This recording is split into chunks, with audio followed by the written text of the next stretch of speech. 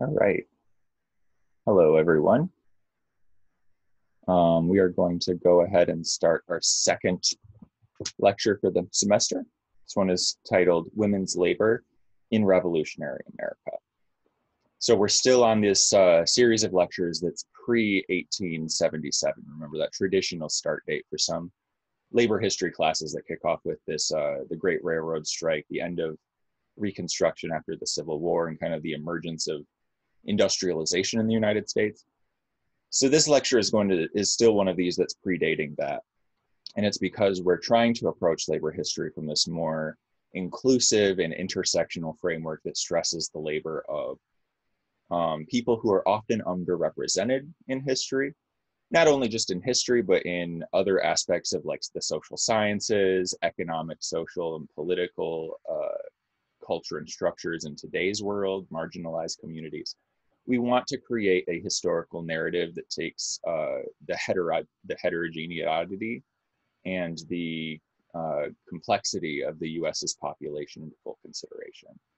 And so um, this lecture is going to be talking about um, labor specific to uh, the majority of women in the United States prior to this 1877. So we kind of have to start off with this caveat of chronology, right? A lot of times when historians talk about um, the revolutionary period in American history, they're talking about the Revolutionary War and a couple decades after uh, the 83, 1783, of course, Treaty of Paris that ends with Great Britain recognizing American independence. So this revolutionary period will sometimes go until 1800, Sometimes it will go a little, a couple decades after into 1820. Very rarely, but occasionally, historians will extend this revolutionary period to the 1850s, really just right up before the Civil War. Um, that might be a little expansive because the United States in 1777 is very different from the United States in 1850. Um, but for the purposes of this lecture, we are going to be talking about some uh, themes and events and kind of uh, structural changes that are taking place in American labor as we get closer to the Civil War. Um, so the majority of the lecture will be on this revolutionary period, but if we kind of, uh, toward the end of the lecture, as we discuss topics like professionalization and the end of cottage industries with the emergence of uh, new industrial processes, that's not necessarily exclusive to the revolutionary period, but they are um, we get to that point by getting through the revolutionary period. And so as we get to the end of the of the lecture, just know that some of these topics aren't going to be uh, readily um, related to like 1780. Food for thought. But of course, we're going to start off with some reading recommendations. Um, I want to begin every lecture with uh, with a reading recommendation in case the lecture topic is interesting to you for today, we're actually going to have two recommendations. Um, each book kind of tackles uh, one component of this lecture in its own way. And I didn't really want to privilege one of these selections over the other, so you're just going to get two. And the first one, which is all the way on the right, is uh, Work Engendered Toward a New History of American Labor. As its title suggests, it's very um, it coincides with this new labor history that kind of uh, begins to come of age in the United States at the end of the 60s and the early 1970s and really starts to gain steam uh, as we get closer and closer toward the new millennium. Work Engendered isn't one solid book, it's actually a collection of scholarly articles, essays, and papers that kind of tackle different aspects of labor history um, and views labor history along a gendered framework right? It's edited by Ava Baron. Uh, so if you're if you're going through a book collection that's alphabetized by author, Ava Baron didn't write all of these articles, but she will be listed as the primary editor. Work Engendered is a very uh, useful piece of scholarship, specifically because it's going to give you a wide range of, of different topics and views related to labor history uh, and viewing it from a gendered lens. It kind, uh, it definitely takes existing labor history and it asks the question, what about women? A lot of uh, labor histories prior to the arrival of the new labor history were very masculinist. Um, they kind of just assumed that the worker was normatively male and that women workers were kind of um, these self-isolated categories. There were women and there were workers, which of course we know is not the case today. Um, but we know this is not the case today because of scholars like those who wrote for Work Engendered and other new labor history books kind of challenge that notion of the American worker as just default male. The second book, which is on the left, is Judith Butler's Gender Trouble, Feminism and the Subversion of Identity. This one is very much less a labor history book than it is a book on um, women, gender, and sexuality uh, theory. Sometimes there's an umbrella that's applied, it's called queer theory. Sometimes it's queer and feminist theory or feminist and queer theory. Um, to keep things in a relatively layman context uh, kind of way, gender trouble basically is this very formative uh, this very formative work that Butler produces in the 1990s. It's considered a cornerstone of queer theory, and it interrogates the differences between biological sex and social constructions of gender. And we'll be getting into that uh, in a little bit here. But the big takeaway that Butler provides us with is that social roles and social defined expectations for a person, depending on their biological sex, uh, constitute what we know of as gender. So a lot of times when you know there's this uh, ongoing kind of meme informal cultural debate around gender, how many genders are there? Are there two? Are there more? Are there zero? Um, Butler kind definitely opens the floodgates for that discussion when she provides us with this concept of gender performativity. Um, and so if uh, social constructions of gender, if gender roles and their relation to biological sex are something that either you don't understand that well or are interesting you and you do want to learn more about them uh, in addition to what you already know. Uh, Butler's Gender Trouble is very much uh, a book that everyone points to as a, as a good start. It can be a little dense sometimes, um, but if uh, you kind of struggle through those more uh, difficult to grasp concepts, uh, reading Gender Trouble and really kind of understanding its core arguments uh, can be an incredibly rewarding and generative experience. So those are the two readings that I highly suggest if uh, the concept of women's labor in American history and historiography and in labor in general, including in today's society, if those things are interesting, these books might, uh, you might enjoy them as well. But before we get into uh, the concept of, of women's labor, of labor that's divided along gendered lines, we should probably start out with a couple of base, uh, basic definitions, right? And the first two that I really want to focus in on here are the difference between sex and gender. A lot of times people use sex and gender kind of interchangeably. Um, as you've probably gleaned from my discussion of uh, my very brief discussion of uh, Butler's book, there is a there is some subtle differences there. There's some nuance, and so it's worth kind of going into that here. For our purposes, uh, sex, the noun, not the verb, um, constitute a series of biological traits that are used to differentiate between uh, female, intersex, and male people. Now, depending on how someone uh, constructs their own definition of gender or how a society constructs uh, their um, subjective or relative constructions of, sorry, not of gender, of sex, uh, these can, these uh, definitions can depend on a couple of different aspects, right? So there's anatomy, there's hormones, there's chromosomes, and there's genetic aspects, all of which can fall under this, uh, this umbrella division of sex. It's also worth knowing that, uh, or repeating that sex isn't binary. A lot of times people just uh, articulate that there are only men and there are only women. This isn't the case. There are also intersex people, there are asexual people. There is an entire spectrum of biological sex that is often uh, reduced to a dichotomy by the medical profession. So a person who is born intersex will uh, usually undergo reconstructive surgeries before they reach adulthood or even childhood to kind of put them into one camp of male or female, right? Um, so sex is very much the biology of it. Uh, in contrast to uh, biological traits, there is also gender. And gender, instead of uh, being inherently linked to any kind of biology, is actually a system of socially prescribed rules and roles uh, that are given to each of these two dichotomous sexes, right? Most societies, uh, in terms of their articulations of gender, are binary. So in in sex, biological sex, there's men and women. Intersex people are often left out of that.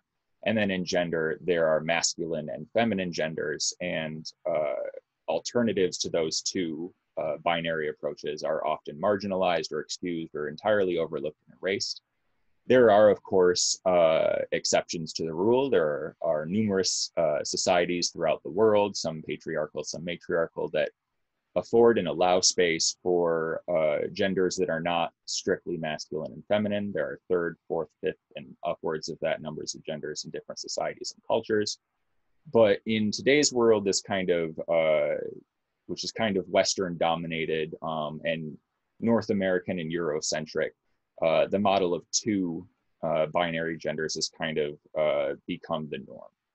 It's become this dominant uh, construction of how we understand gender. So the takeaway, if I'm talking too much, sex is largely biological, can be driven by a couple of different aspects. So it's not only anatomical, but it's also hormonal, chromosomal, and genetic. And then gender is this social construct. We're also going to talk very quickly about patriarchy. A lot of times um, people will conflate uh, sexism with patriarchy. Sexism is the existence of this disproportionate system of power that favors one sex, men, over another sex, women.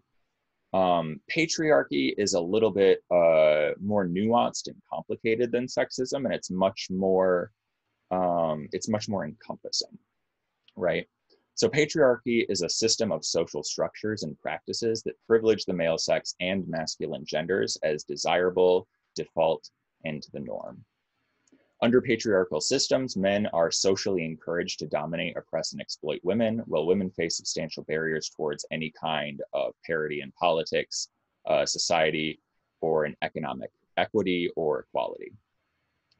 So, whereas sexism is very much uh, more this belief that men are superior and kind of curtailed, um, structures are curtailed to support uh, the supremacy of men, patriarchy uh, is a much more entrenched system that includes uh, anti-women sexist bias, but can also incorporate a lot of other elements uh, into justifying the supremacy of men over women. Um, and so that comes right not only in the male sex, but also masculine genders as being desirable, right? Um, there is the notion of being hardworking. There is the notion of being able to suppress your emotions. These are all um, masculine traits. Uh, coming from the masculine gender that are not necessarily tied to uh, male biological sex um, that are also viewed as this desirable default. And then lastly, we also have heteronormativity. Heteronormativity is a widespread social and cultural bias towards patriarchal heterosexual two-parent families as this primary form of social organization, right? So you have the two parent family that's heterosexual. You have a husband and you have a wife and the husband is usually uh, or in terms of heteronormativity is in charge of the family and the wife is um, more subservient and then they have uh, x number of children not too many not too few just the right amount uh, that's kind of viewed also in addition to patriarchy as this norm for society as this uh, social building block of, uh, of cultural organization. Heteronormativity can be reinforced through religious agreements like marriage um, and it can be kind of hard to investigate heteronormativity if you don't know uh, that there are other competing systems uh, that can that heteronormativity contests with, right? Uh, this is sometimes referred to as the Christmas effect.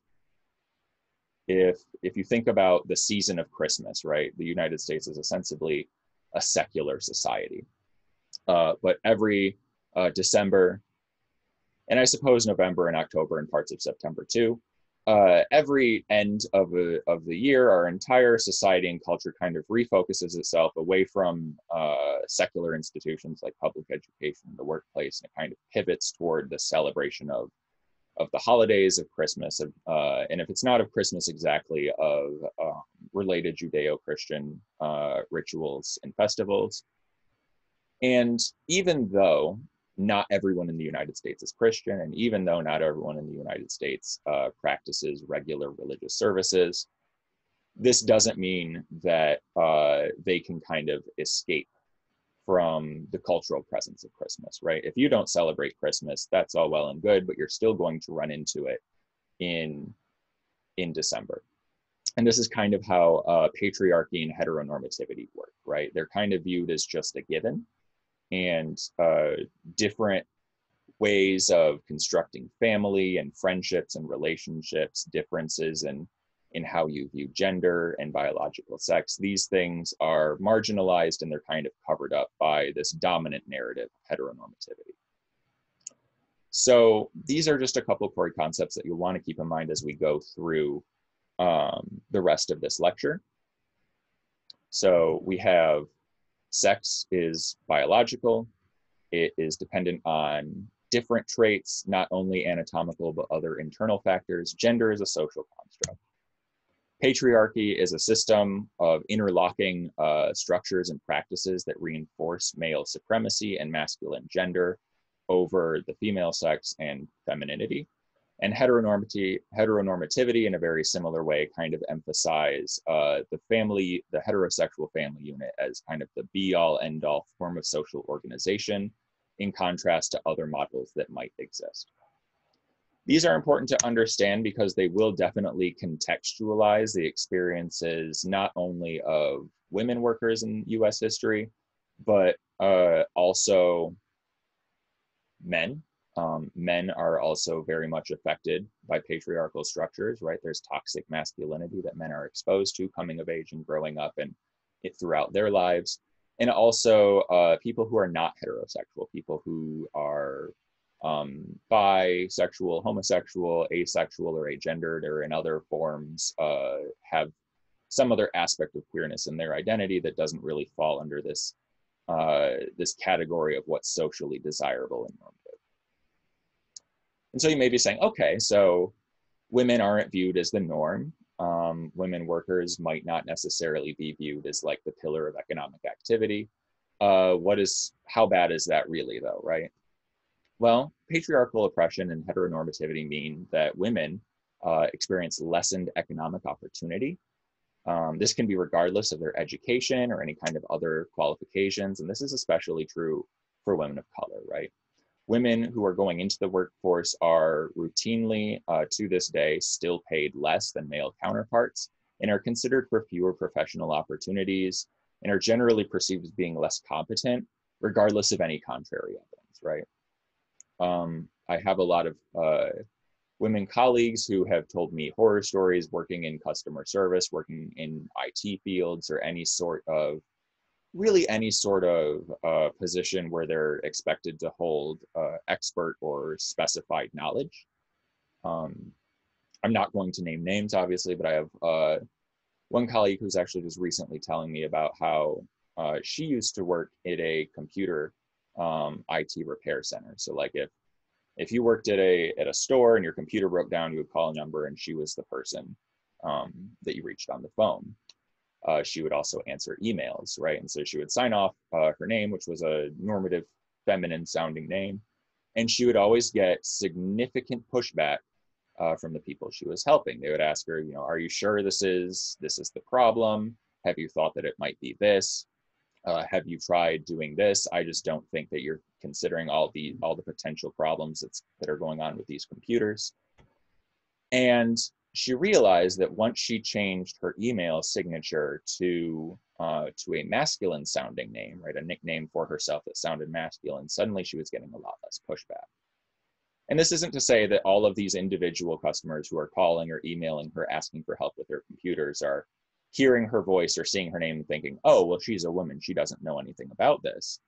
Um, a lot of times, sexism and patriarchal systems of oppression, heteronormativity, they're subconscious. Um, they're kind of just learned preferences that just pop up um, in day to day interactions. And if you aren't actively questioning those kinds of biases, they can kind of take over when you're not actively thinking how you respond in workplace situations or in situations where you're interacting with people who have expert knowledge that you don't have, right?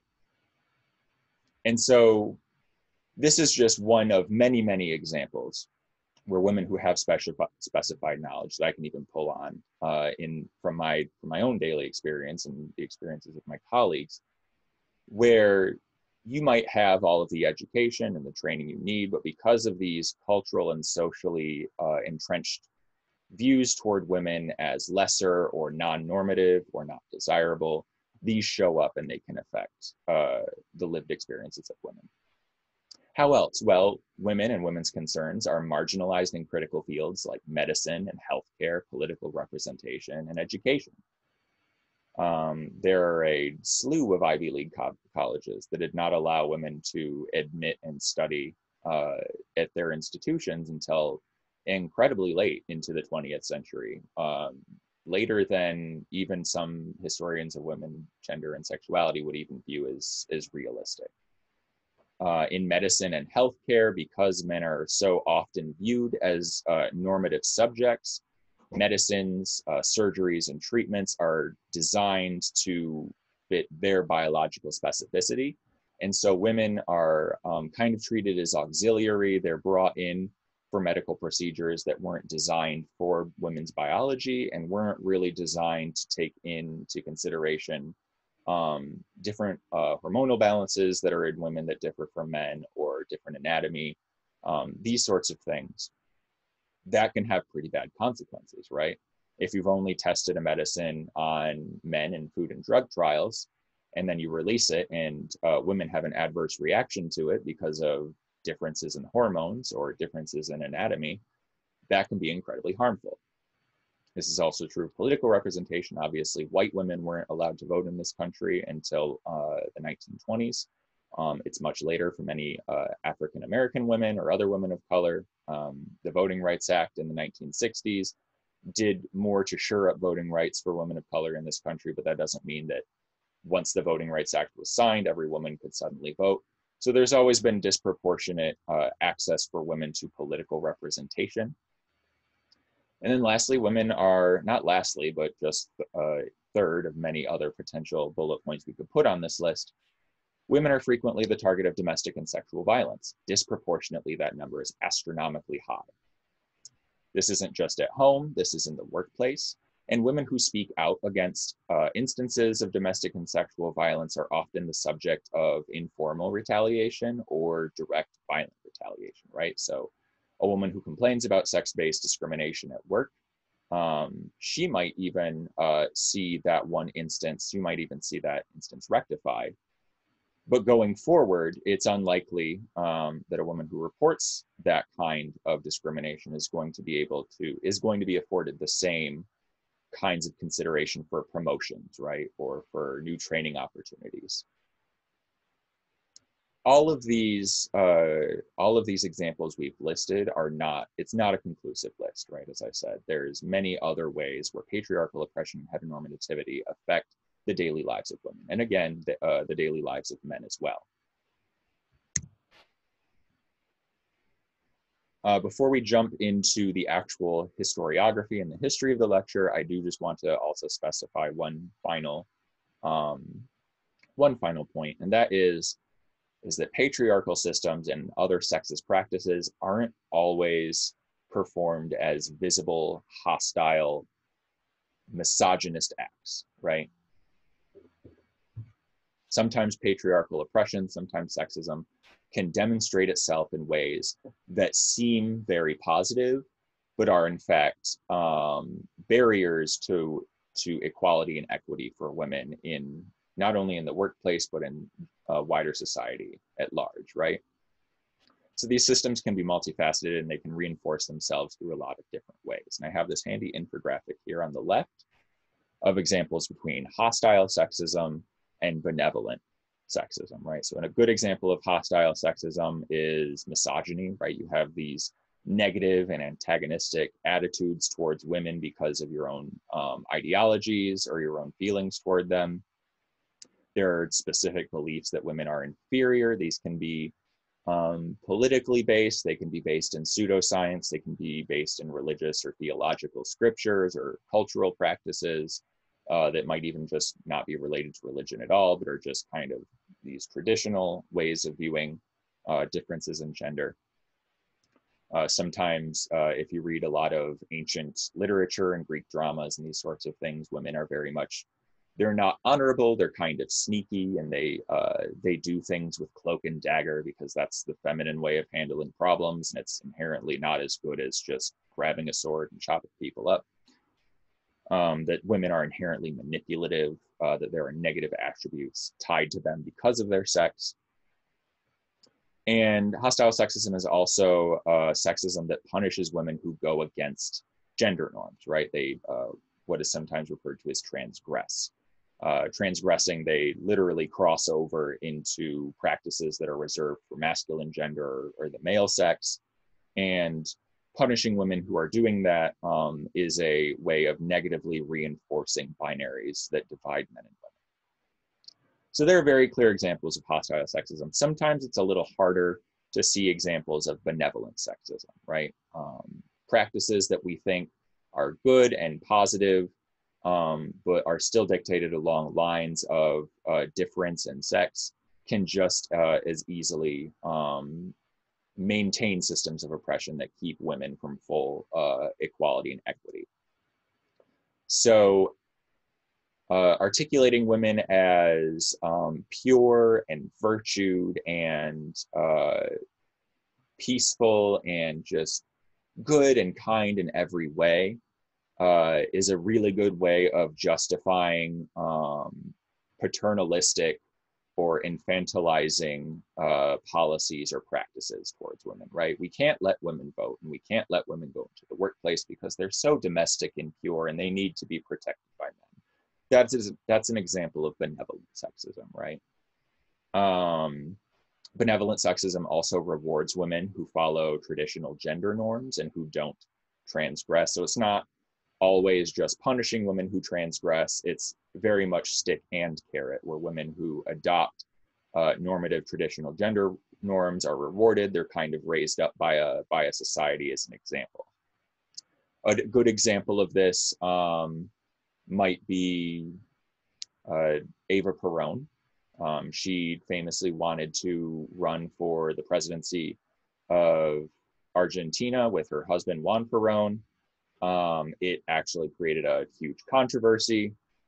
And uh, she ended up saying, Well, I decided of my own volition that I didn't actually want to be vice president. So she was raised up even further in Argentinian society. It's like, Well, look at what an ideal woman she is.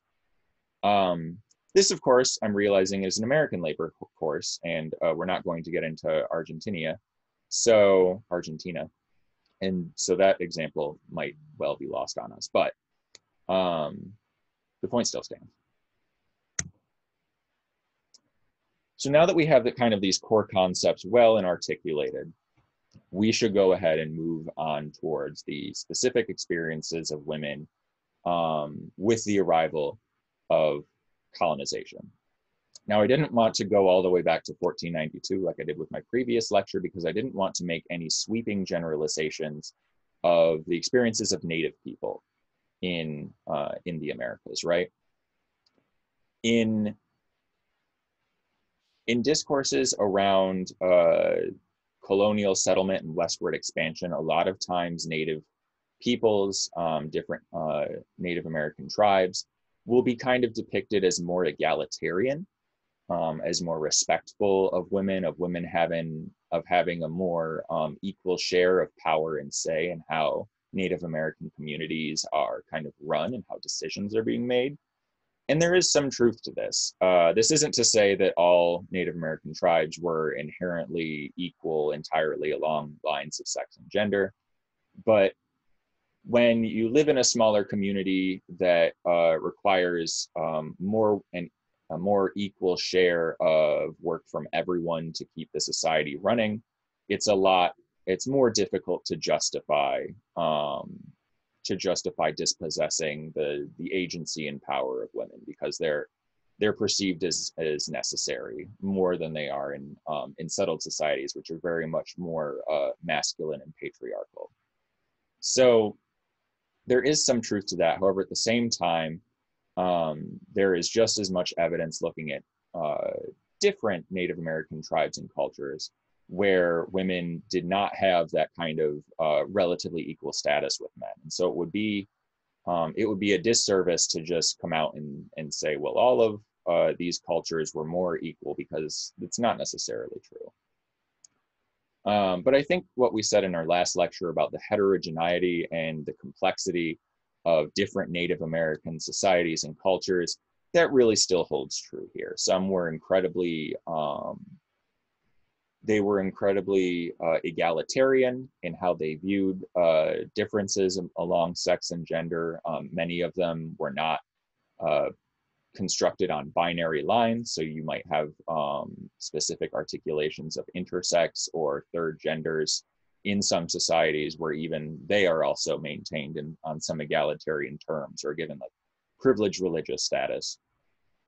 Uh, but again, in, in some cultures, that simply wasn't the case but keeping that heterogeneity and complexity in mind is, is worthwhile.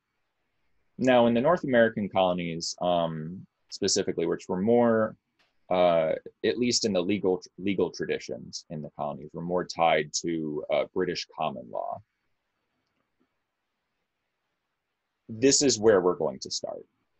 And I want to briefly talk about a system that was called coverture uh, sometimes pronounced coverture. I say coverture because it literally means that a wife is covered under the authority of her husband, right? This is an English common law that kind of just continued in North America after it was brought to the, um, the continent by colonists. And coverture basically uh, is a it's a series of different mutually supporting marriage and property laws that um, that maintain that a, a married woman does not have a separate legal existence from her husband, right? Uh, very much coverture is a system of property ownership um, under English common law and in the colonies for some time after, you know, um, Jamestown, Virginia, and some of these other colonies started to become settled. Uh, coverture was a system that that continued there, and it was basically um, women who were not yet married were uh, believed to be legally dependent on their fathers, and even if they're above the age of 18, um, where they were uh, they were answerable to their fathers. Their fathers had this uh, this patriot their patriarchal duty to kind of oversee the affairs of, of uh, their daughters and kind of manage how they lived their lives this is all kind of tied to notions of purity that women need to, to be pure and chaste in order to, to marry a man. And when they married men, um, all of the uh, kind of parental authority that the dad, the father, carried over women was then transferred to the husband. And so a woman could not own her own property. Um, obviously, she could not vote. Um, either because she was a woman or because she didn't own property. And a lot of uh, the early democracies in the American Republic required some form of property ownership in order to participate in elections or represent. It also meant that um, there were few options of legal recourse if if a wife was wronged by a husband.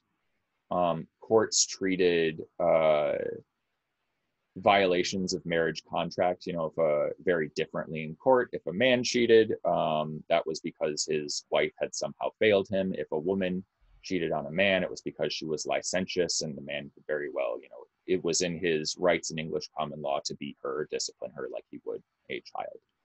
So under the system of coverture men, uh, women were very much infantilized and they were kept dependent off of uh, their ma- either their male relatives or their male spouses this isn't to say that all women were married and that they were all kind of subjected to this system of gem- gendered uh, oppression, but women who resisted becoming married and who very uh, stubbornly outlived their fathers were not treated well by societies. They were kind of, again, viewed as transgressive. And so there were different social institutions or practices that were kind of designed to punish them and make um, resisting marriage and coverture undesirable to young women at the time.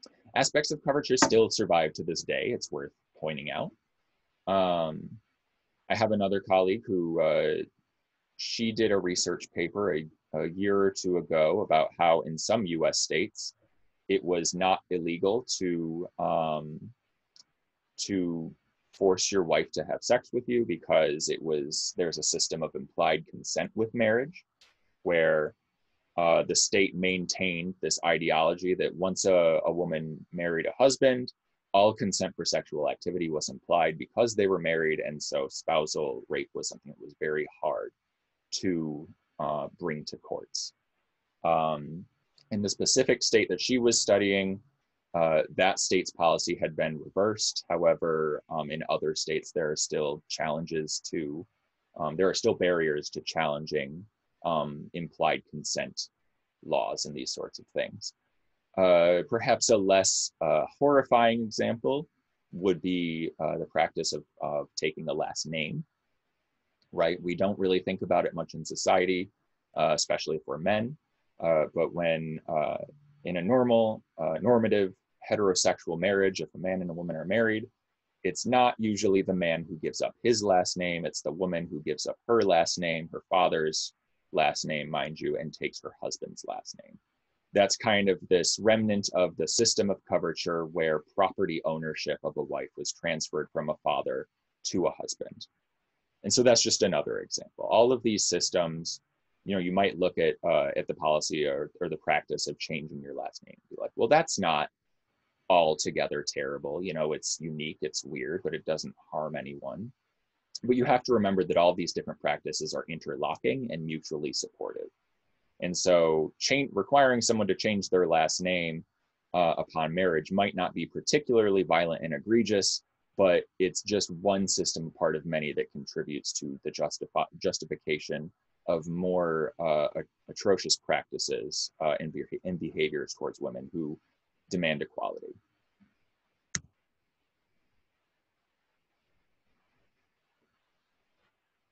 So like we said, coverture was a legal framework. It was brought over to the colonies and was uh, this extension of English common law that uh, that planted roots in in colonial settlements uh, when they when these um, laws were brought over by European colonists. A system of coverture actually falls under a wider historical framework that is known as the culture of domesticity. Um, sometimes it's referred to as the cult of domesticity or the cult of true womanhood. This is actually um, one of these uh, recent innovations in history in terms of historiography. It was introduced in the mid mid 1960s, I believe in 1966. Don't quote me on that date, but in the mid mid to late 1960s, a historian named Barbara Welter uh, articulated this idea of the culture of domesticity, and this is this um, kind of trans-historical pressure of women to resign themselves out of the out of the affairs of out of masculine affairs, the affairs of men, and to really more specifically focus on uh, focus on women's issues, uh, women's culture, women's tasks. Under the culture of domesticity, there are two different spheres, dichotomous spheres, mutually exclusive, that are supposed to divide uh, sex and gender, not only in terms of labor, but in terms of wider society. Um, so according to Barbara Welter, uh, and supported by uh, systems like coverture, the proper place for a woman under the culture of uh, domesticity was the domestic sphere. Um, the domestic sphere is basically uh, the main the maintenance of the home, the rearing of children, um, religious and secular education, where uh, systems of public schooling hadn't yet existed. It was uh, up to the mother to kind of raise children and view them with uh, with Christian values. Um, and by contrast, uh, men were kind of uh, consigned to this public sphere uh, that kind of oversaw economic activity, employment, political participation, um, social organizations, community organizations, any sort of uh, outward public facing representation of a household was this public sphere. And women were by and large excluded from the public sphere in the culture of domesticity, while men were by and large encouraged uh, to be in the public sphere. It was good for, for a man to be invested in the domestic sphere because under the system of coverture, you're your wife who presided over the domestic sphere was still this um, this person that you had to that you would that men would have to manage right um, women were still treated uh, under the culture of domesticity and in the domestic sphere as kind of uh, they were treated like children this infantilization um, they were looked down on and not uh, really quite as competent as men had been and so a man would occupy the public sphere, w- would still kind of dictate terms of the domestic sphere to his wife, who was answerable to him um, in this culture of domesticity. So we have uh, kind of a good example of these two spheres here, right? The, uh, the domestic sphere, this feminine sphere, um, was where most of women's labor was relegated to in colonial times and in, in the history of the early American Republic. So we have this home upkeep, we have child rearing, we have uh, in, uh, educational instruction, be it religious or secular. This isn't to say that there were atheist households in, in colonial times. There may have been. Uh, they weren't necessarily uh, widely known or historically present. A lot of uh, a lot of households were just expected to be some kind of Christian. But this secular education, in contrast to religious education, would be like teaching your children how many are in a dozen, right? There in a dozen eggs, there are 12 of them. That's an example of secular education. Uh, God, theology, angels, they don't really factor into that. So secular education also fell on women. And then any other kind of unpaid work that meant in that went into uh, maintaining the house, making sure children um, and the husband and other dependents like if parents if the house was multi-generational and you had parents living in the house with a married couple making sure they were uh, fed and provided for um, making sure that uh, tears and clothes were sewed up all of this unpaid work that a household depended on also fell under this domestic sphere. There's actually a term for all of that unpaid work. We touched on it a little bit in our last um, our first discussion and uh, we'll get into it more in a little bit here but reproductive labor. And then by contrast, again, in the masculine public sphere, we have law and politics, market commerce, citizenship, and paid employment. Again, transgression of any of these spheres uh, would usually um, prompt some kind of retaliation. It could differ depending on um, the different contexts or the specific nature of transgressions. Um, these range from social ostracization to downright physical sexual violence, including killing and murder uh, social ostracization is a very um, is a very uh, popular way that a society handled women who refused to marry. They were usually excluded from social circles. They were kind of uh, relegated to the outskirts of town. Um, or if they they weren't employed in any kind of, of lucrative professions, but if they were employed, it was usually in uh, in the domestic sphere, serving um, more affluent households, right? So a woman who refused to marry might become an, a maid. Uh, back in Europe, where religious and theological institutions were more established, um, women who refused to marry might be kind of uh, pushed into a nunnery by their family to avoid the the public shame of this transgression. It was a lot easier to say, well, so and so went and, and joined the convent than it was to um, come out to your friends, family, and neighbors and say, well, Sarah doesn't want to get married, and we're going to support that decision. That just wasn't something um, that was widely practiced at the time. And so, social ostracization is one example um, actual physical violence uh, aimed at women is uh, is an example of what was commonly done if a woman was, um, for example, found to be cheating on her husband, especially in colonial times uh, where corporate punishment was still widely used. That's like floggings or whippings, these sorts of things, um, could be used to punish women who were infantilized. Well, uh, men who cheated were often um, that blame was redirected at the wife for failing in some regard for over her uh, domestic duties there. So we have this concept of reproductive labor. We've already spent a little bit about a, a little bit of time on it, but I just kind of want to um, flesh it out a bit more than we already have. As we've said, reproductive labor is all of this work that's related to domestic tasks. Um, it is almost always unpaid or uncompensated. Uh, those who claim it is paid and compensated for will uh, point to the fact that a woman who performs reproductive labor and isn't employed outside the home still enjoys all of the all of the benefits that come from uh, inhabiting a home right? You still live indoors. You're not um, you're not living on the streets. That's uh, that's payment for reproductive labor right? Um, the wages that the husband makes go to um, paying for bills utilities food that, that wives eat. So there have been kind of these uh, patriarchal arguments that reproductive labor is compensated, but not in any kind of meaningful way that gives women agency as workers. A lot of times, reproductive labor is something that is just socially and culturally uh, articulated as, as an expectation. Um, the next time, if you're uh, if you're a younger individual and you don't know to look out for this, the next uh, time you go have Thanksgiving dinner, it might not be this year because of everything going on but the next time you go have Thanksgiving dinner, um, try and pay attention to who, uh, without prompting, begins cleaning uh, the table, who begins doing dishes, who does all of the cooking um, to begin with that makes a Thanksgiving dinner ready when guests start arriving, right? This is an example of reproductive labor. Socially and culturally, we're kind of trained to expect uh, women doing these types of jobs, right?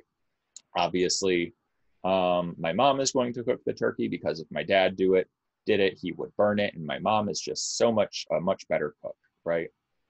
That's an example of benevolent sexism. Look how great of a job my mom does in these uh, these traditionally gendered feminine tasks, and then um, that expectation that she's just going to do them, and that I'm thankful, but I don't have to really kind of pay her back for any of that. That's something she's happy to do because she's my mom, right? this is how reproductive labor is made to kind of um, it's articulated as an expectation. It's just something you do. It's what women do. And it's not really questioned uh, or if you uh, if you do question it um, that's when that transgression that uh, that reprisal for transgression can come into effect right? If my aunt comes to eat thanksgiving dinner and she uh, asks my dad why is uh, why is your wife why is um, why is Jamie's mom the only one uh, doing the dishes? Well, my dad won't get up and go start doing the dishes. He'll kind of sulk off, and then he'll probably tell my uh, my uncle who um, is married to a different woman, or he might tell his brother that uh, that my aunt is, you know, she's an angry feminist or she's a lesbian, or look how unrealistic she's uh, being, or why does she have to bring politics into Thanksgiving? There's any number of justifications that can be used, um, cultural and social tools that can be drawn up on to defend the system of reproductive labor. And again, this isn't always necessarily done um, with any kind of malevolency. It's just an implicit bias that people like something snaps and they go to it and they're like, well, this is what I was raised. This is how we do things. And I'm going to defend the system. Now, reproductive labor, uh, contrary to um, popular conceptions of reproductive labor as relatively easy, is very demanding. Um, it occupies a lot of time, and regardless of if a woman is is uh, employed or has a career, social uh, pressures and uh, cultural pressures that articulate reproductive labor as a as an obligation that only women can fill. Um, these things don't make uh, reproductive labor easy.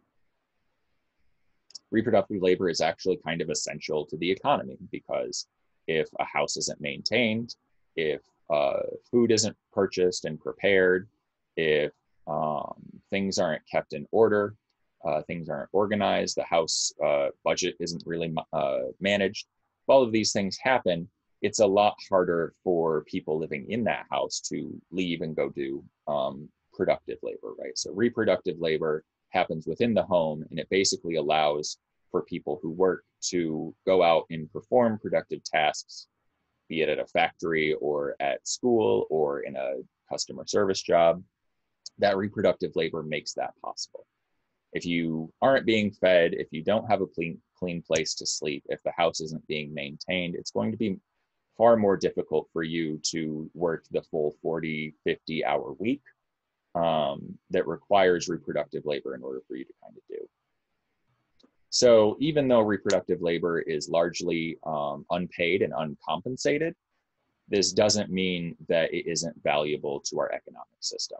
In fact, uh, it's pretty much essential in some capacity or another.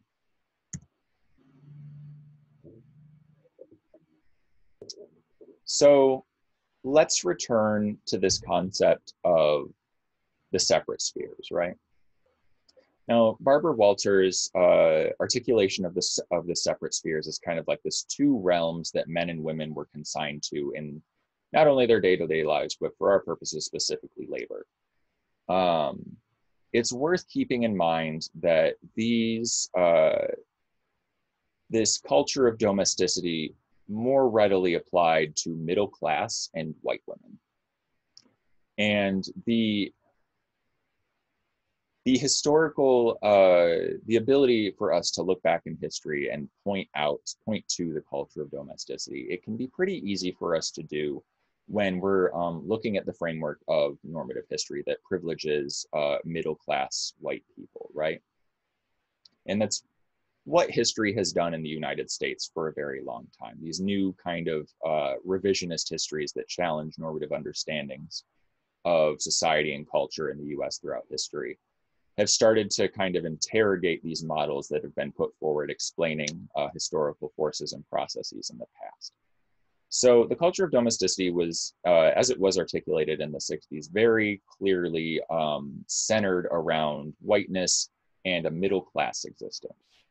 Uh, but not all women kind of fell into this into this paradigm of of these separate spheres, and so it's worth uh, mentioning those too because if we introduce the culture of domesticity, say there's a, a domestic sphere and a public sphere, and women are in one and men are in the other, and then you just move on, that overlooks a lot of groups that have been, as we've said, marginalized throughout history, right? So, working class women or women who are surviving on low incomes, um, they're not going to fall uh, under the culture of domesticity because they simply don't have the the resources um, to not work. Now, this doesn't suddenly mean that they're free uh, from sexism or patriarchal oppression, right? There's still social and cultural institutions and practices and traditions that that devalue women as people, but also devalue women's labor uh, in preference for male lives and male labor.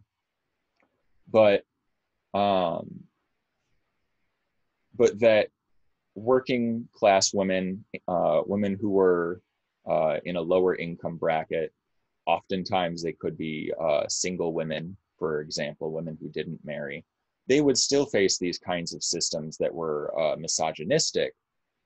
But in addition to that, um, they also their livelihoods uh, depended on on them alone, right? So they couldn't um, they couldn't choose to to not work. Now this isn't articulated necessarily as as a freedom, a lot of times uh, women who were consigned to the domestic sphere in this culture of domesticity, they very much wanted their own careers. They wanted to have their own uh, professional hobbies, something that they could devote themselves to and pursue outside of the home. And this wasn't available to them because this just wasn't something that was an option for women. It went against this culture of domesticity. It was transgressive, and so it was suppressed. Working class women didn't have those freedoms either right? So if you were um, if you were on a lower income and you were required to work this doesn't mean that you can now go become an engineer at harvard and there's a card that you can show at the door and it's like well i make under this certain amount so i have to i have to get a job and i want this one. That's not how it worked, right? Um, lower income and uh, working class women very much were kind of pushed into the most undesirable and unfulfilling kind of monotonous jobs and they were often still consigned to the domestic sphere. And even then, they were often still kind of under this patriarchal authority, the system of coverture that dictated the terms of their own uh, lived experiences and livelihoods to them. So, a working class woman who was married would still fall under the coverture of her husband, would still very much not have any sort of economic say.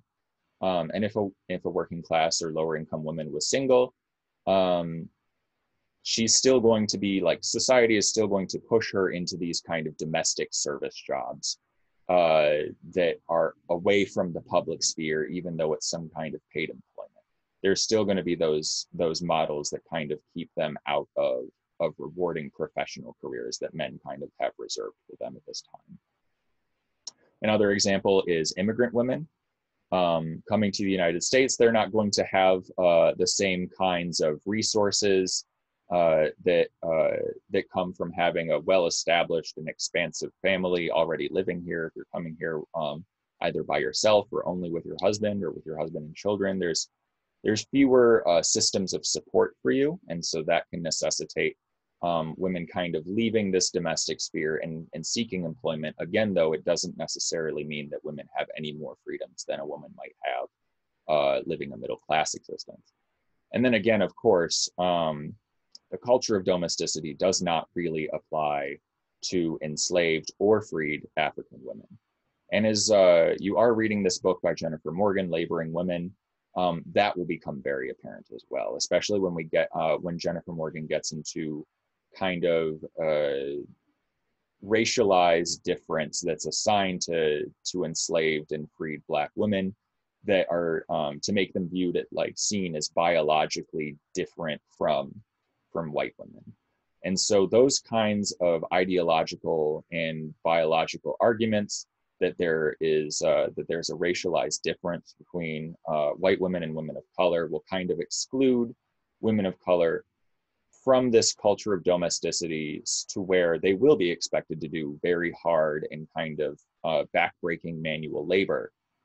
That being said, um, enslaved and freed African women are still going to be subject to the same patriarchal systems of oppression that white women are, where they'll be expected to do the reproductive labor um, for uh, their community and that allows that community to then turn around and um, and support either the uh, the planning aristocracy, the uh, the slavers, or if um, if they are uh, in fact a free African American person, um, still performing the reproductive labor that allows for the exploitation of work outside of the home in the public sphere.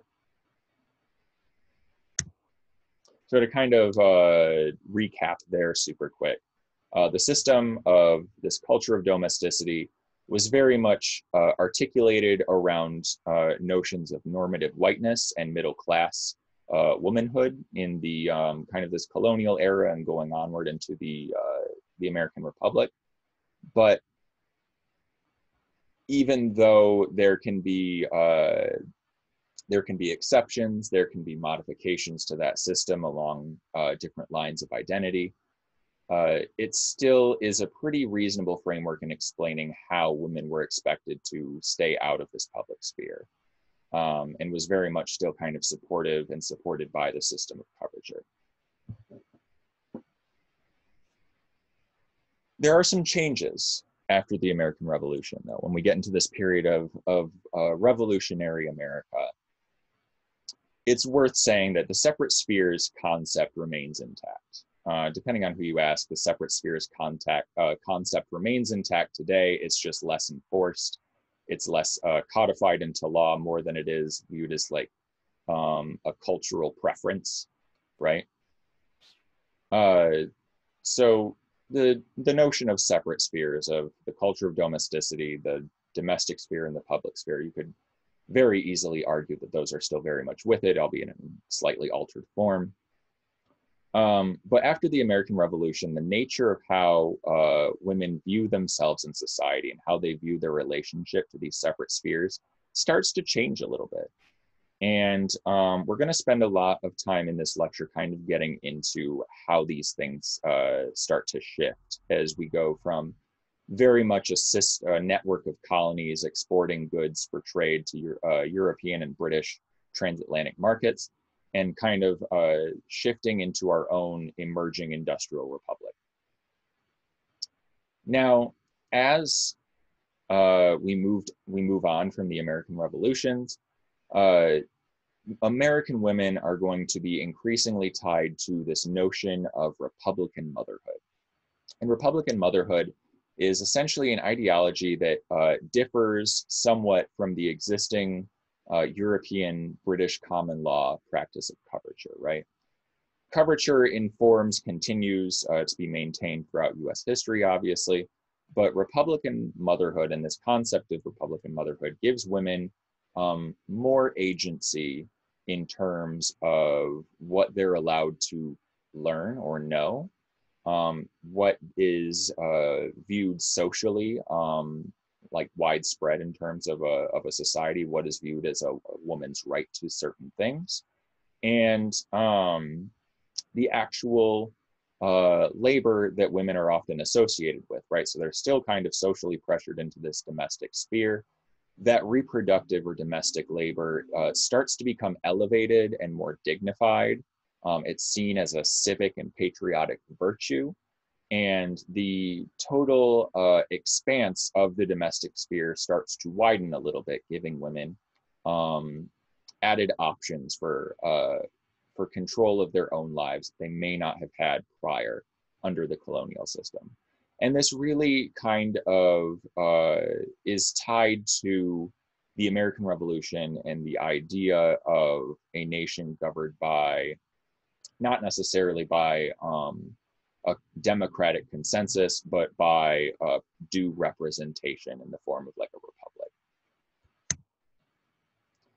So, Republican motherhood um, was given increased patriotic uh, value because specifically uh, statesmen, um, people participating in the revolution, looking on uh, the emerging uh, American nation, are realizing that we want to make sure that a that a respect and a preference for um, liberty uh, in political terms, obviously, for uh, for white property owning men is maintained, and so that means that uh, mothers who have to, of course, raise children, educate children, provide for the home, um, perform all of this reproductive labor, they need to uh, kind of buy into the system as well in order to make sure that children coming of age are taught to value it. And so Republican Motherhood argued that in the interest of children coming of age in the new country, women needed to be civically minded, um, literate, especially, and religiously knowledgeable. And this was all uh, definitely for um, the better education and instructive and instruction of, uh, of young men coming of age. Uh, but women were also expected uh, to be able to raise their daughters in a way that uh, coincided with this idea of Republican motherhood, that mothers um, and this uh, kind of cornerstone of social organization, the family, that, that daughters were being raised in a way that um, allowed for the family to be as politically uh, active and participating in, in Republican government as possible, assuming that they were a, that they were a demographic group that that uh, the framers wanted them to do that, right? So Republican motherhood was definitely, uh, of course, less stressed for free Black communities um, in the South or the North. Republican motherhood was very much um, kind of oriented toward uh, white, middle, and sometimes uh, lower class families.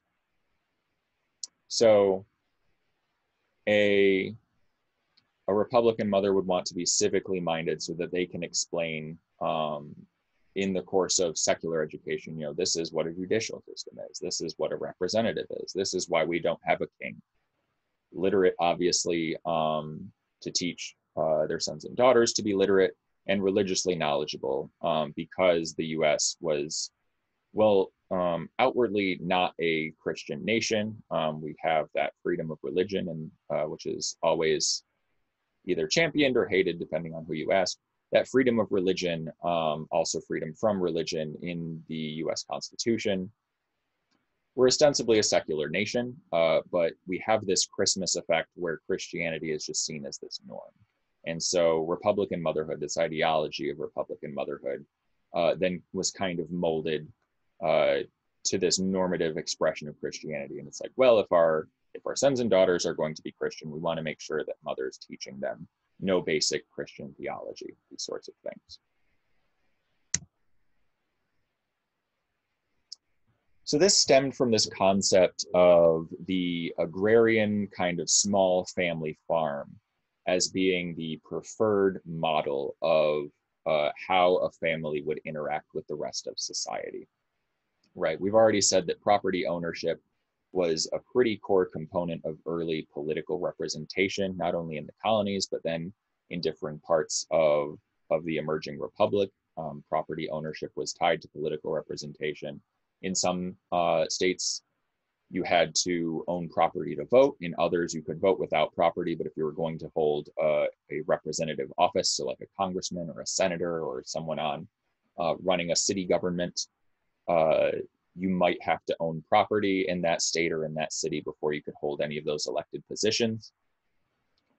And so um, all of these different uh, all of these different preferences for property ownership are ostensibly tied to the idea of independence, right?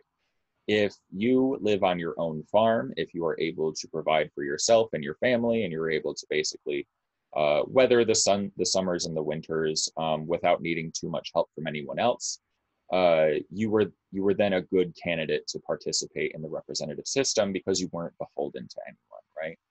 If you were in debt, uh, if you had a landlord, if you were employed by someone else and you weren't uh, like a, either an artisanal craftsman or a farmer um, relying off your own labor, right? If you had to sell your labor to others in order to um, make a wage to support yourself, you might be beholden to the interests of, say, um, whoever is financing your debt, whoever um, is employing you, whoever you are renting your home from, so if you were beholden to other people, you were viewed as uh, as less desirable to participate in the political system because you might then just um, do what your boss or your uh, your debt financer wants you to do in exchange for um, maybe a less lax enforcement of rents or or debt payments, or maybe um, there might be hidden arrangements in place to make sure that you vote uh, in accordance with their interests instead of with your own interests, and that would give them undue representation.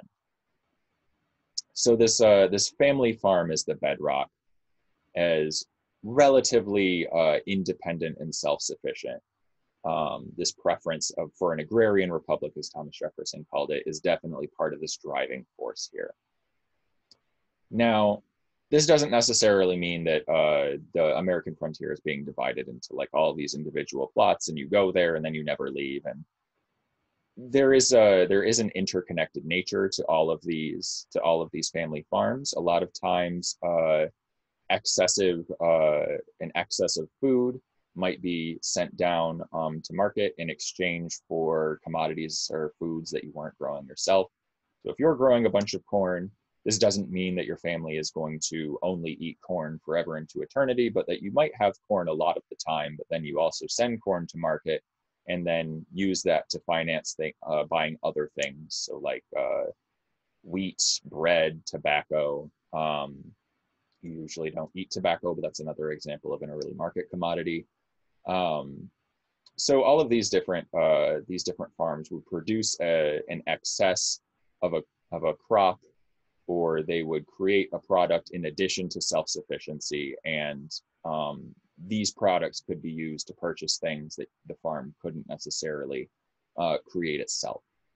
Uh, now you might be dependent on trade but because there you were trading something else in exchange for something that you couldn't make yourself you still weren't seen as beholden to other interests. Uh, the uh, the agrarian small family farm is is basically being seen as the one thing that's the least corruptible kind of social unit that you can base a Republican institution on. Now, these kinds of farm based small production operations uh, are called cottage industries, right? The name's pretty easy to remember because it's an industry inside a cottage. It's not a sprawling industrial plant. It's not a workshop. It's it's very kind of limited in in its capabilities here. And a lot of times, women, in addition to providing all of this reproductive labor, were also uh, expected to contribute um, a lot of their labor toward these cottage industries. What are some examples of a cottage industry, right? Well, uh, we talked about sending food to market. Um, if it takes a really long time to get food to a market, that can uh, that can kind of limit what you can make on your on your surplus crop there. So a lot of times Um, specific forms of food preservation fall under an example of a cottage industry. We have beets. If we just ship the beets out and it takes a month to get to this market, uh, they might go bad. So maybe we'll can and, um, and pickle them. As an example of food preservation, if uh, we have an excessive amount of meat, maybe we'll salt the meat so that it's good to transport um, and we can sell meat on on the market if we're not eating it.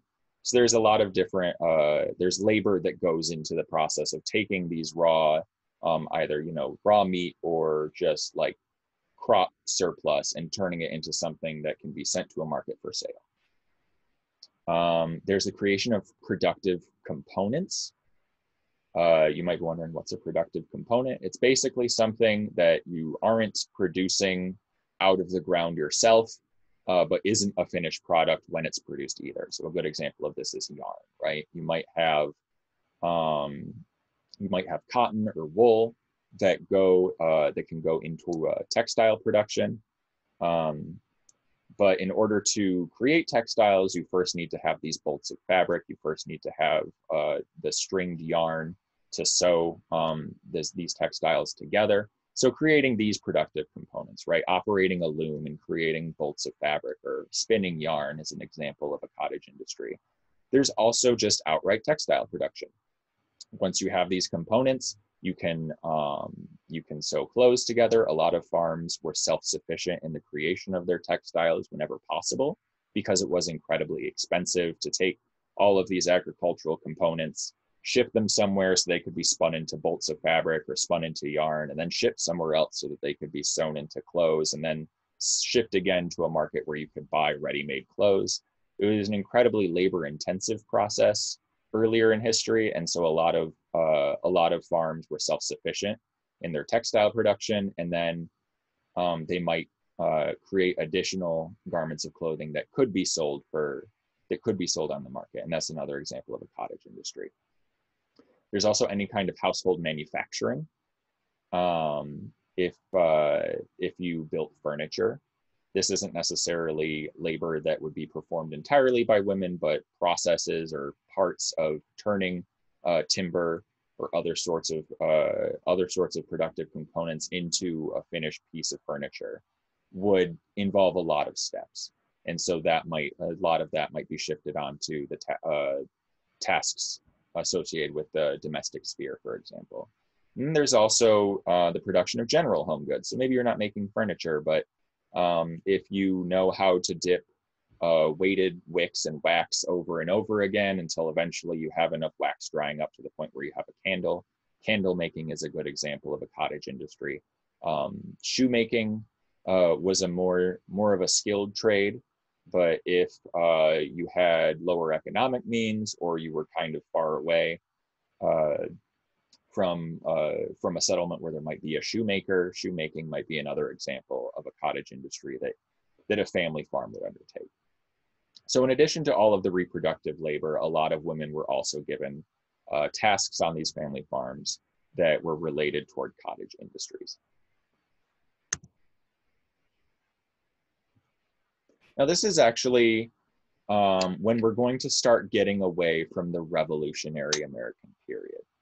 And part of me thought about taking these slides and, and pushing them back to a later date, uh, but I didn't want to introduce the concept uh, and the idea of cottage industries being performed uh, alongside reproductive labor without also talking about what ultimately happens to cottage industries and how that changes um, labor that women were performing uh, earlier on in American history.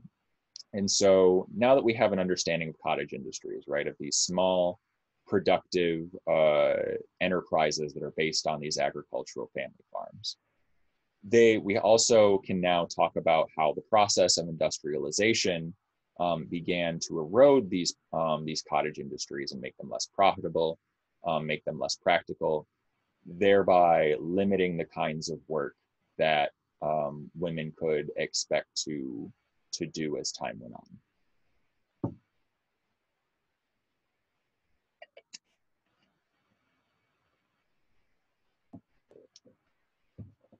So as you may or may not know, as we go further and further into the 1800s, kind of leaving behind this revolutionary period, again, you can end it in 1800, you can end it in 1820, you can even go so far as 1850.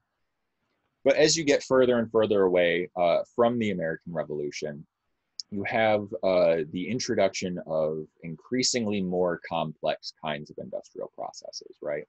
So in the 1700s, you may have um, uh, if you're, for example, if we want to stick with textile production, if you're going into textile production, um, you can go out and collect enough cotton and then you can thresh that cotton long enough to get kind of all of these impurities out of it and then you can kind of thresh it some more until the point where the cotton is actually like starting to stick together and like become one bolt of fabric and then you can run it through a loom uh, until you have like an actual an actual bolt of cotton fabric this was a very labor intensive uh, practice.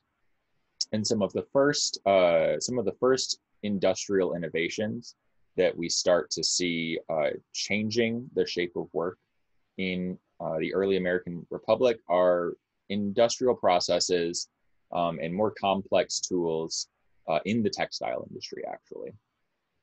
The US industrializes very rapidly because it starts to import um, and build machines that make textile production much easier.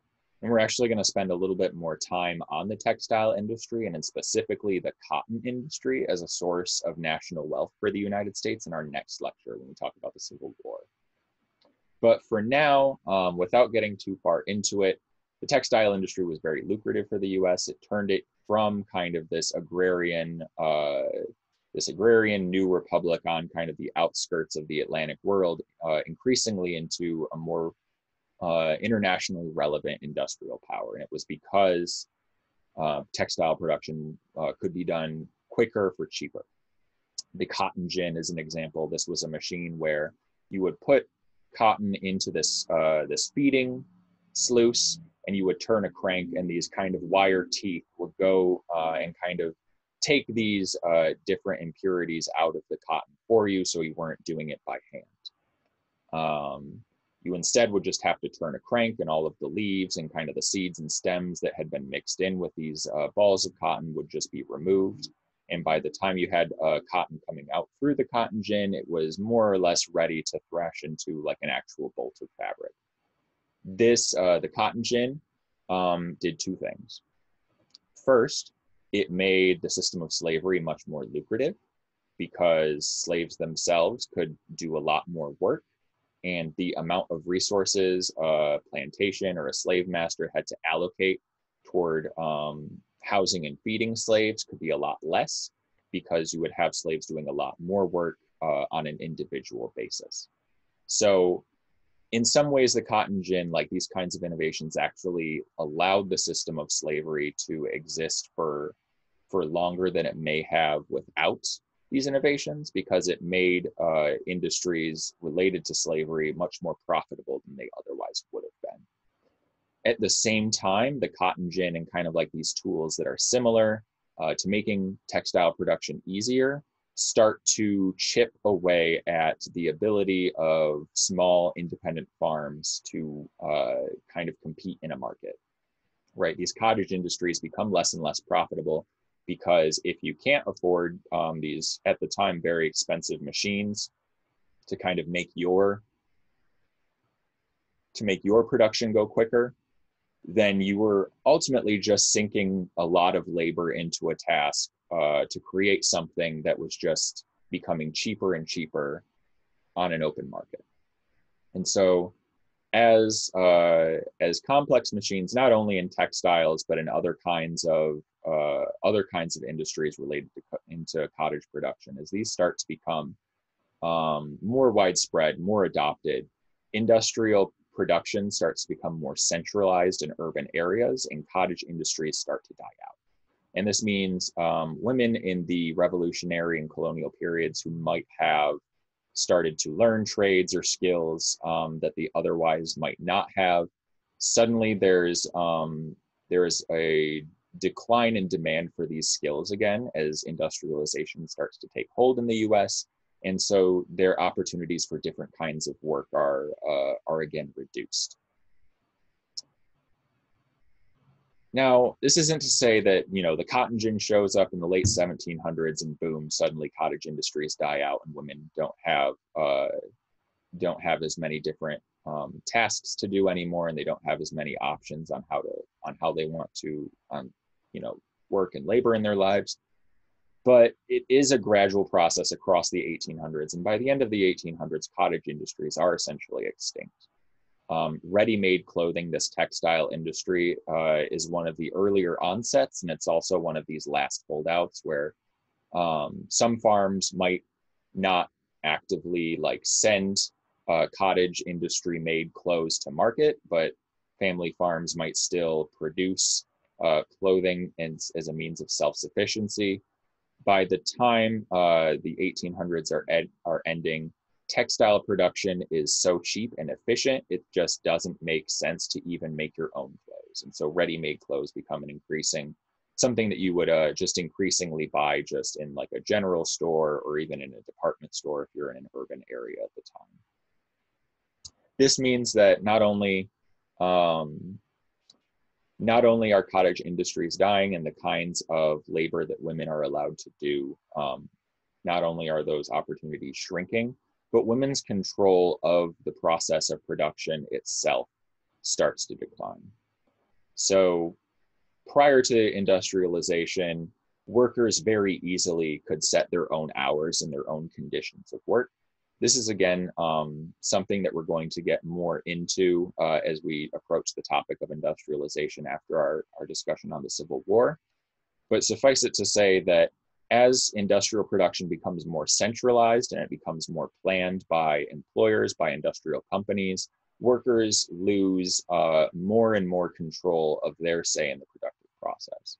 Prior to industrialization, men and women alike didn't necessarily have to punch in um, punch in to begin working at a certain time. They weren't required to work a certain amount of hours in a day you simply worked as much as you needed to. And uh, if you were on an agrarian, a small family farm, you know, you would definitely work more throughout the summer and into the fall to kind of follow uh, crop cycles. But in the winter and into the spring a little bit, you had a much uh, reduced workload. You could devote um, your time to other energies. With industrialization, this also changes, and there's more of a regimentation in American work um, along uh, notions of time and how much work are you doing for an employer in a certain amount of time in exchange for a wage. These start to kind of reshape how Americans view labor. This is also another reason sometimes why a labor history course will start in 1877 is because this is when you really start to see institutions and notions of wage labor take off in contrast to earlier models where a worker would have more of a say in how they made their own goods and after industrialization, a worker has less of a say how they make goods for someone else. So let's talk about women who go to work amid the uh, the process of industrialization, right? Textile production is still very much a uh, nowadays um, people would call it a pink collar job. Obviously, that term didn't exist back then. Um, but pink collar, if you like contrast it with uh, with blue and white collar of like uh, um, skilled and unskilled manual labor versus kind of professional uh, non-manual labor, pink collar is women's labor. Pink collar jobs are routinely kind of devalued and underpaid because they're associated with femininity, and there's like this implicit cultural and social bias that that work is less valuable and less difficult, and so it deserves less pay. Um, that's the first thing you should probably know about women who went to start working in textile mills uh, as industrial processes caught up to the United States. Women began working in textile mills because a lot of these cottage industries uh, started to um, evaporate and die. This meant that smaller family farms had uh, fewer commodities that they could trade in an open market for things that they couldn't make themselves, right? You might want, um, for example, a, a wagon or a wheelbarrow to move your equipment around, But if you don't have the lumber on your property, if you don't have the tools to make that wagon, you need to find some other way to pay for it. And with the erosion of these cottage industries, uh, you know, you can't um, you can't provide bolts of fabric. You can't provide like distilled alcohol. You can't provide these things that a cottage industry might normally produce. And so now what needs to happen uh, is, if possible, someone on the farm needs to go away and work in one of these urban areas for wages. And with textile production being among the first industrial processes, a lot of times the first workers who entered into um, into mills, uh, kind of the forerunner of the modern factory, were women workers, right? Textile production was a pink collar industry. Women um, knew how to do it best, and so women will be uh, will be working in these factories. It was also very lucrative for the owners of mills. Also, keep in mind we have the system of coverture, right? There is this social and cultural assumption, even if this isn't uh, universally true for every woman working in these mills, but there's this assumption um, across society that women are under the system of coverture, right?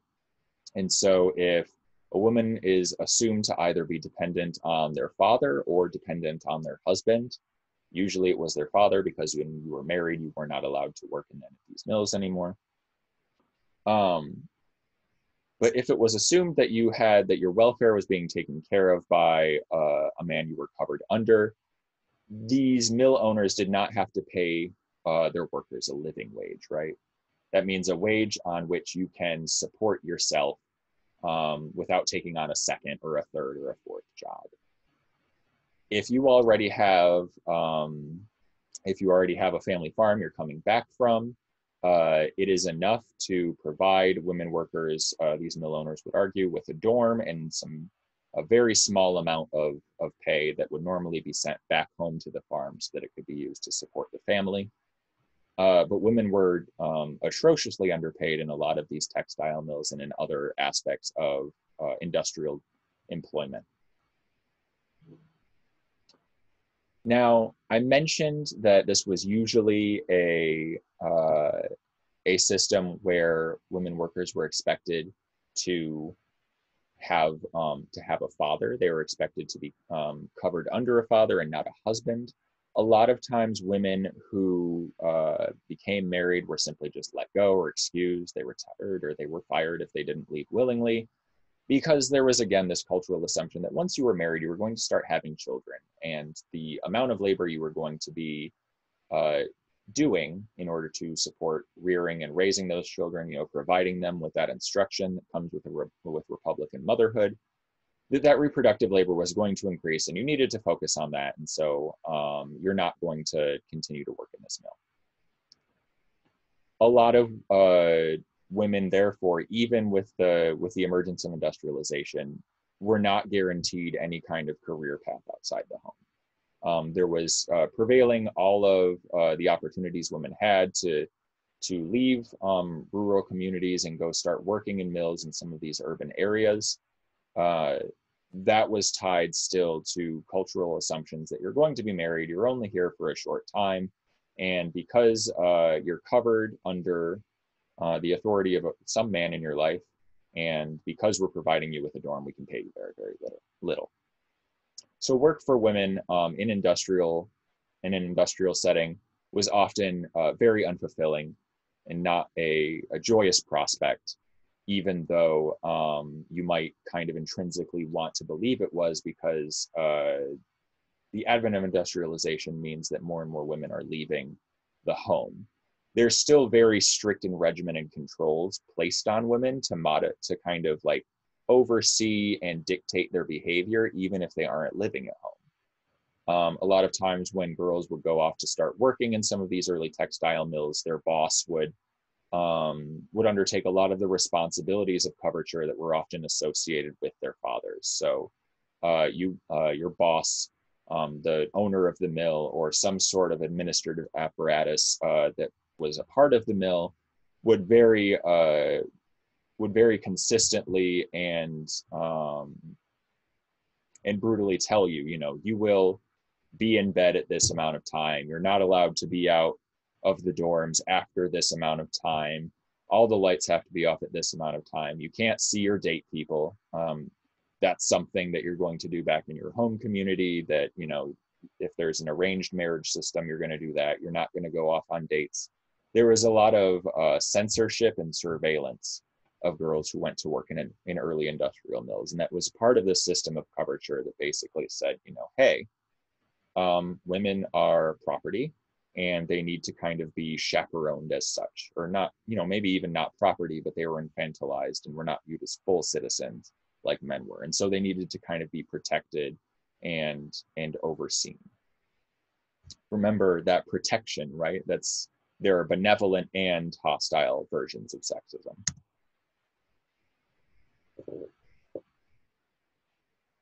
So whatever kind of minimal freedoms uh, the industrial process gives to women that eventually starts to run into its its own issues.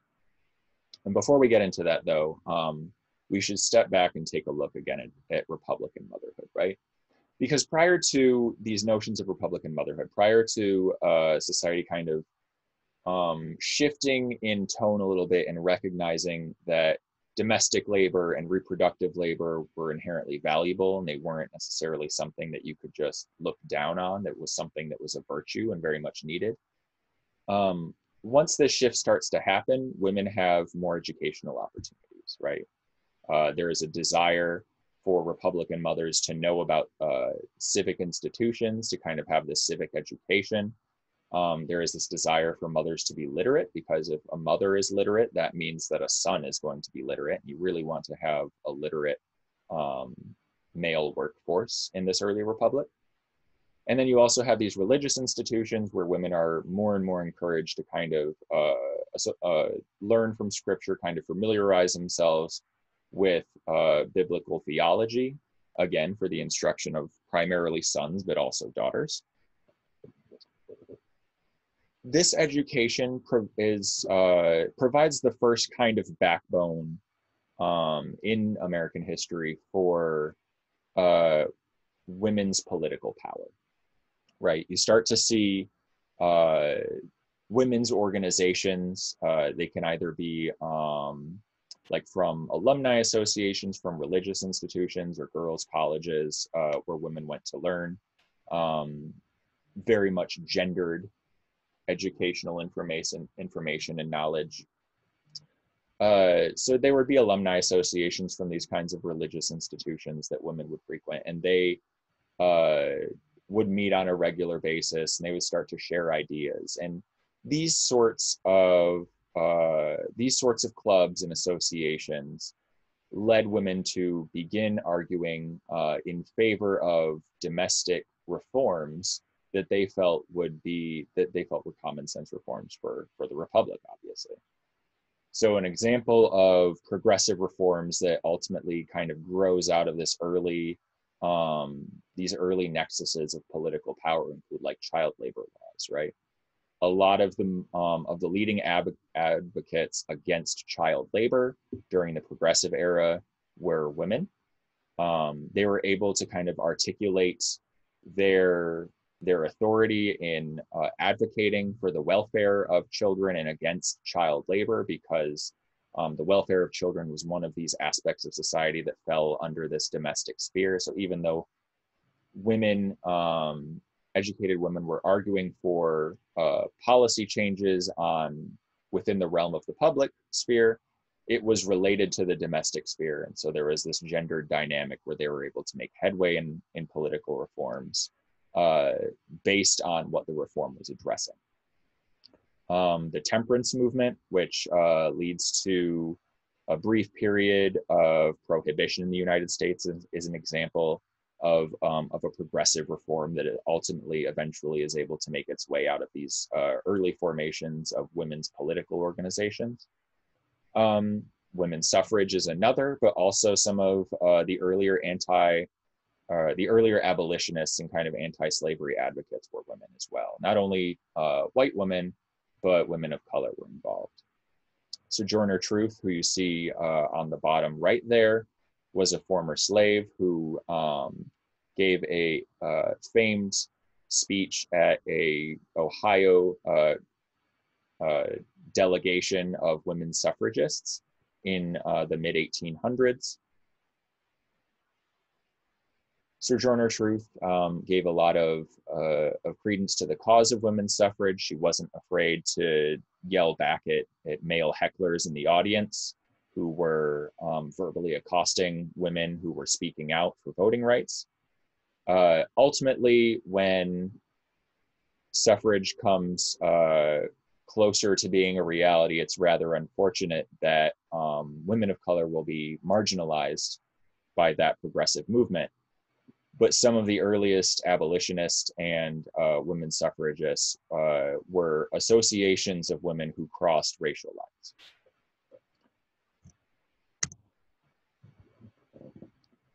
Now, once you start to have these women's uh, political organizations fighting for reforms, not only in uh, issues of political representation like suffrage, but also uh, very clear labor terms, right? So, uh, in advocating for abolition, that is a that is a labor issue. In advocating against child, um, again, advocating against child labor, that's also a labor issue. And advocating for shorter work days uh, so that um, husbands or wives, if they're also working, can come home and see their children.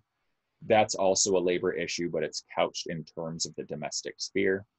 And so a lot of times historians will approach these progressive causes and they'll gender them on, on women's terms. And while that's not necessarily uh, incorrect of them to do so, because they are um, even today still very much uh, broken up into this dichotomy of masculine and feminine gender roles. It's also worth noting that a lot of times there was considerable overlap uh, in these gendered progressive causes and uh, causes of labor rights, of workers' rights, and of, of fair treatment and respect on the workplace this isn't to say that uh, the early labor history is a specifically uh, feminine issue. There were also articulations or expressions of desires for for workers' rights and equitable labor um, coming uh, from a masculinist discourse as well. Like, uh, if you're a real man, you can join a union and you can argue for for fair wages. Right? There were also masculine articulations of of the labor movement early on but a lot of times uh, the idea of manhood being tied to respectable labor very much drowns out um, women's involvement in the emerging labor movement and so it's uh, it's especially worth recognizing that here now as these professional institutions start to take root though um, they increasingly uh, become solidified under the public sphere and so you have the emergence of this issue of professionalization and this is basically when um, skilled uh, skilled labor in the public sphere, largely addressing domestic issues, starts to become supplanted by professional men. This starts to happen toward the end of the 1800s, actually, with this uh, 1877 start date in mind. Um, a good example is uh, our female midwives. Um, midwives were basically uh, they were women who either could live in um, with uh, a family who uh, was expecting a pregnancy, especially if they're incredibly wealthy, but more often than not, a midwife would would frequent different houses, and they performed a number of tasks uh, that were related to the to um, you know reproduction, birth, raising children, these sorts of things predominantly uh, a female um, type of labor. Was associated with that domestic sphere, even though you're going out in public to other people's homes to help facilitate pregnancy and birth. Um, but as the midwife profession starts to become more public facing, especially with uh, the processes of urbanization, with industrialization, with uh, commerce kind of entering into some of these service agreements and not just manufacturing, you see men start to uh, start to regulate these professions. And if you're going to be doing any sorts of of medical work you know you need to get so many certifications. Well that kind of education isn't accessible to a lot of women still. And so you gradually see female midwives being replaced with predominantly male medical professions like obstetricians or pediatricians instead.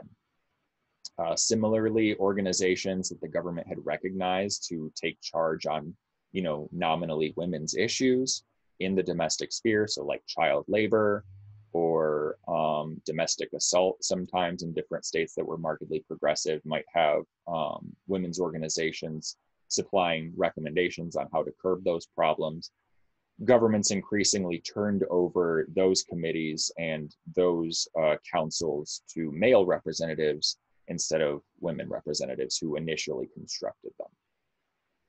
Now, so we're seeing here uh, that industrialization and uh, and this education process tied to Republican motherhood, in some ways, both expanded and limited the opportunities uh, for women in terms not only of labor and of the economy, but in wider uh, society and in political representation as well, right? So you have the erosion of cottage industries, and they're being replaced with industrial processes. This gives women uh, a lot of women a ticket away from the home to kind of see other parts of the country and live somewhere else. Um, not independently, but perhaps um, under less direct uh, oversight from their father. They're still subject to uh, patriarchal oversight, but it's maybe uh, less pronounced and less glaring depending on one's home life. That being said, at the same time, the kinds of work that you're going to be expected to perform um, can be constricted in some ways. Whereas with cottage industries, you could be taught and expected to perform a variety of, of tasks associated with different forms of production. With industrialization, especially working in textile mills, um, that labor is going to get de-skilled and you're going to more more and more and more increasingly be consigned to just one part of the productive process. So maybe uh, instead of spending one day um, helping prepare uh, furniture or textiles, doing yarn spinning and looming, um, and then going on another day and doing food preparation. Now it's uh, it's 60 hours a week, 10 hour days, except for Sunday because of the Christmas effect and it's the Lord's Day. You know, you might be doing 60 hours a week where you're just standing at a loom press, manning machinery. And so that, uh, well, you're getting out of the home. What are you getting out of the home too?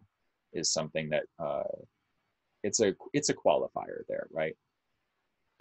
Similarly, you look at education. It provides women with some of the first uh, avenues uh, toward political power and political involvement, even though the right to vote has not been won yet. This, uh, at the same time, though, uh, prompts a blowback where a lot of the spaces that women are able to make in the public sphere ultimately are again lost because of this process of professionalization.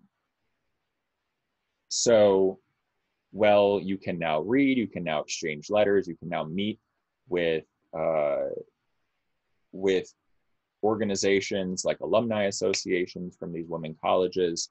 Um, the kinds of work that you're allowed to do with that can really depend on how much of that work uh, is trying to be appropriated by professional men and how much of it isn't.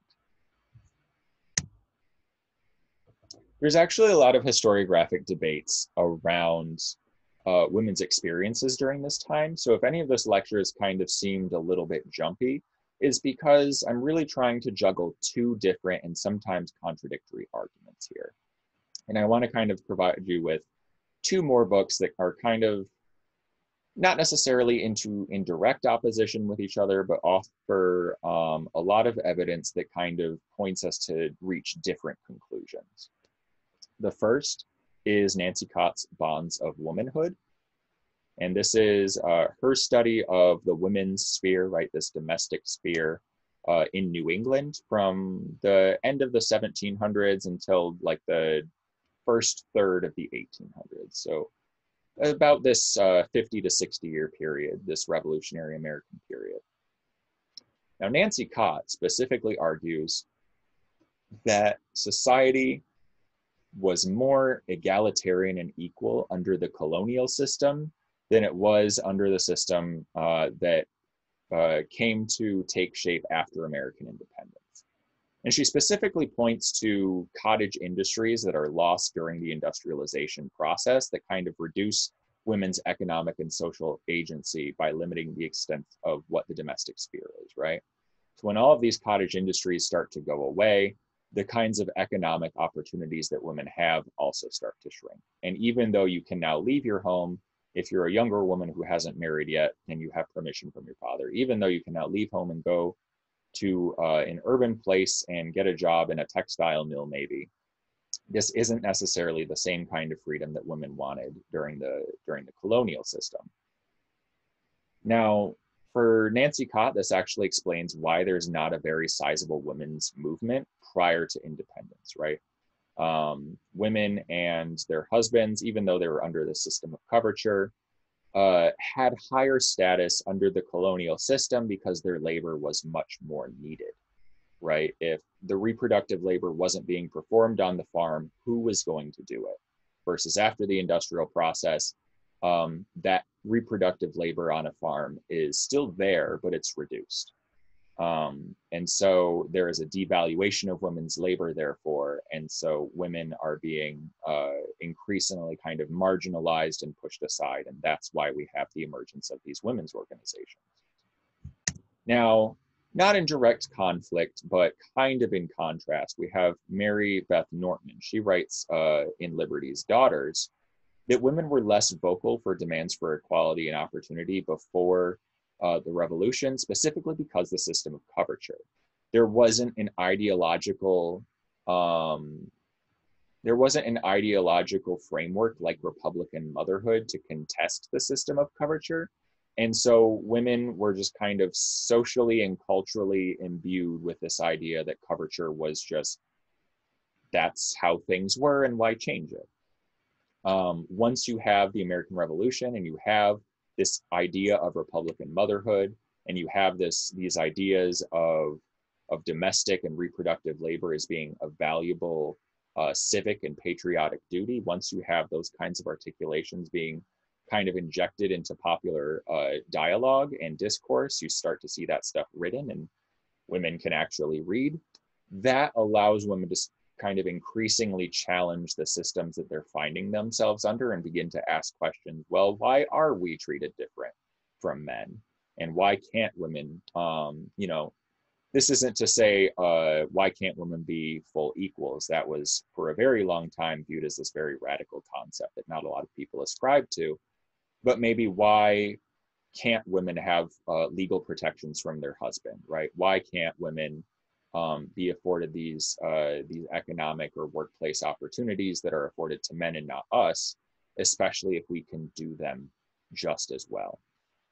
And so you have kind of these two uh, these two conflicting views of the past, where one says that women's experiences uh, became less available and they became more restricted because of industrialization, whereas others say that economic opportunity very well may have declined, but that because women were able to access education and literacy at higher rates, they were able to challenge um, patriarchal and misogynist systems more vocally. Those two things aren't necessarily uh, mutually exclusive, right? They can very easily overlap. Um, but this is uh, kind of one example of a historiographic debate around labor that isn't really solved right? Um, whether or not you agree with Nancy Cott or Elizabeth uh, Mary Beth Norton more um, really just depends on how you read history and how you understand uh, historical evidence, and which historical evidence you're familiar with.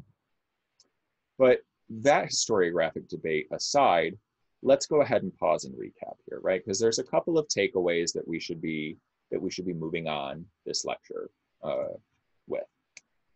The first is that the economic impact and value of American labor in the early republic was dependent off of and enriched by unpaid women's labor. And this could uh, both be productive labor that was um, that was created in cottage industries and then later in textile mills. Keep in mind that um, that labor was productive, but it was uh, more or less unpaid because those wages went back to the family and were not kept by um, the mill girls working in these textile mills, as well as, uh, again, un, um, unpaid reproductive labor. So uh, maintaining the domestic sphere, uh, which then enabled everyone living in a household to participate in the economy and participate in productive processes, be it industrial, agricultural, or otherwise. The second point, structural inequalities uh, along gendered lines have limited women's economic opportunities throughout American history. Uh, sexism and sex-based discrimination, contrary to what some people on uh, very kind of fringe wings of politics today might argue, were not just invented by feminists. They've actually uh, are very deeply entrenched uh, in American history, and they also are felt today, right? This is not only demonstrated in like civic and political ways, so like women weren't allowed to vote until about 100 years ago, and that's white women, but also in fields of labor. So if we look at the pay gap, for example, and uh, pay discrepancies in pink collar labor in contrast to white or blue collar labor, women are paid much less and effeminized positions are undervalued. And that stems from this kind of patriarchal, uh, sexist system of male supremacy. And then lastly, um, historians are still divided over the specific nature of women's uh, experiences. And this is in labor as well as in other aspects of history. And this is not because uh, historians just don't do historical work. It's not like the it's not like the resources to find these things out aren't necessarily there, but that normative history for so long has only privileged the voices of uh, of middle class or rich white men that the lived experiences of other groups that are not uh, included in that in that specific identity have just been largely overlooked. And so women's history just like labor history is still very much an emerging and growing field of history. Um, history isn't static of course. There's always new contributions being added but specifically these subaltern um, histor- historic tendencies, these tendencies that kind of speak back to this this hegemonic normative narrative that privilege, privileges whiteness um, and affluence and uh, and maleness. These kinds of discourses that are speaking back to this normative history have not been around very long.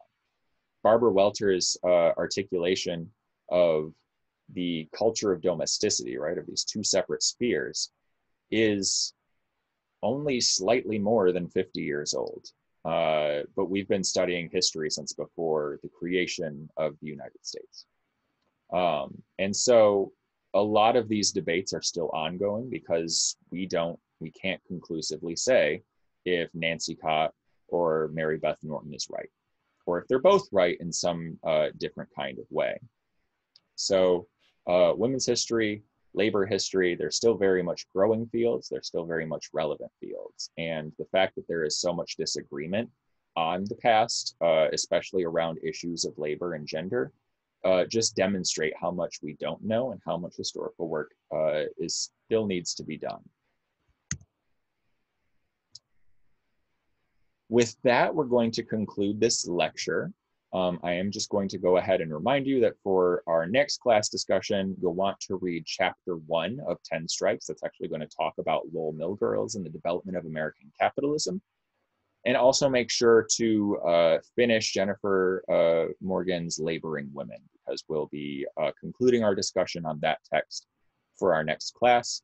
And then, of course, if you have not gotten me back your introduction questionnaire or your uh, preferences for presenting and note taking, please do so as soon as possible because any slots that are still available that you might be interested in are going to start filling up as I get people sending me their responses, right? So it's better uh, to send three over two in case two of your, your preferences are taken, just to make sure you're still presenting on a topic that you want to. Um, with that all out there, I'm looking forward to a lively discussion next class. Have a great day.